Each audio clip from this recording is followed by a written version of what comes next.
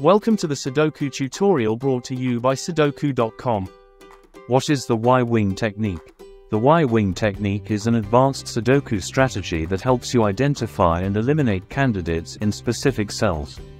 It involves three cells connected in the shape of a Y. By analyzing these cells, you can make deductions and solve Sudoku puzzles more efficiently. Step 1 Before we start, let's familiarize ourselves with the key components of the Y-wing technique. Y-wing pattern consists of three different cells that each contain two of three possible candidates. For example, AB, AC, and BC. In this example, we've got three cells that contain the possible candidates A, B, and C. It's important to know that each of these cells can only contain one of the candidates. They cannot contain any digit other than the two candidates shown above. A couple of red lines have been added to show how this pattern gets the name Y-wing.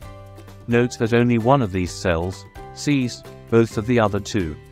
In this case, it's the green cell. Step 2. Now let's understand the logic behind this technique. While the green cell could contain either or B, yellow and blue cells must contain C. It is not possible that neither yellow nor blue cells contain C.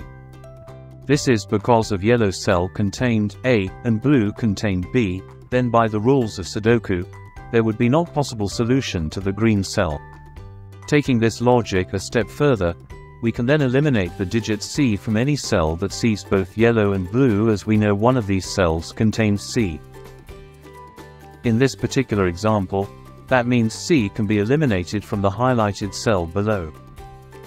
Step 3. Now that you know what the Y pattern looks like, let's take a look at how it can solve Sudokus with the example puzzle. In this example, some of the cells have had all their possible candidates pencil marked in. If you look closely, you'll see there's a Y-wing in columns 2 and 3 with the candidates 3, 4, and 8. Now that we've identified a Y-wing, the next step is to determine which of the three cells has both of the other two. In this case, it's the top cell with the candidates 3 and 8. This means one of the other two cells must contain a 4. Taking this a step further we can now eliminate 4 from any cells that see both of these two cells, the 4, 8 and the 3, 4.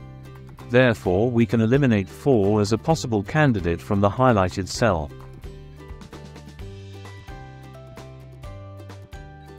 Now that this cell only contains the candidates 3 and 8, another Y-wing has formed. Using this newly revealed Y-wing, we can now able to eliminate the 4 as a candidate from the cell in column 6, row 7.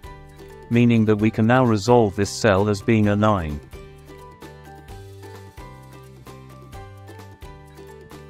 Congratulations! You successfully used the Y-wing technique to make eliminations in this Sudoku puzzle. Continue to use this technique along with others to solve the entire puzzle. To explore more Sudoku puzzles and sharpen your skills, head over to our website sudoku.com.